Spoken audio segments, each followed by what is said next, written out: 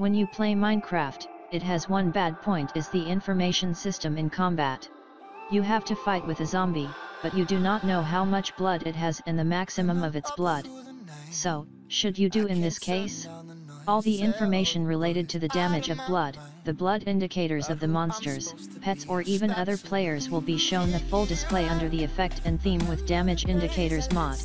Damage Indicator mod is a great PvP mod for Minecraft. It shows mob portrait preview with current status of mob and player as you hover over them. It mod damage indicator compatible with all types of mob. This mod requires Minecraft Forge to function properly. As of Minecraft, there are 1.12 versions of the damage indicator available. However, in the official Minecraft forum chain, you can only browse through the mod's trunk downloads. The mod adds this amazing health bar preview to the game. You can use the damage indicator with Optifine. Besides, Damage Indicator mod adds an immersive feel to Minecraft by displaying the health of any crowd nearby or where you are currently attacking. The mod has a variety of configuration options and will even work on some Minecraft servers displaying player health. This mod also allows you to monitor your enemy's health.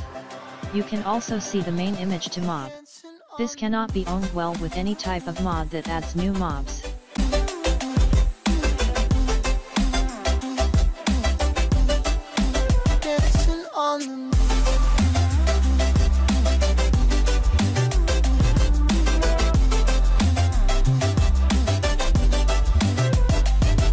my compass was wrong And I'm still on my way. Closer to where I